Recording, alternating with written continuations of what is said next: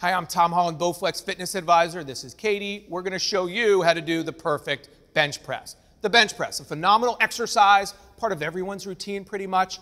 There are ways to do it though that really will help you maximize your results. Here's how. So we're going to lie back.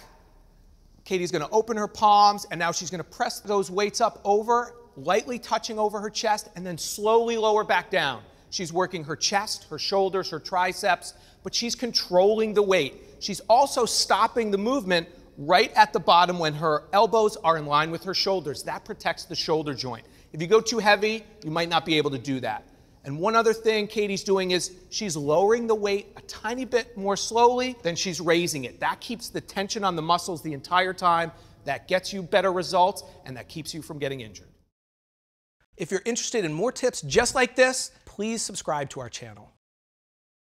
Get fit fast with home fitness solutions by Bowflex at bowflex.com. Be fit for life.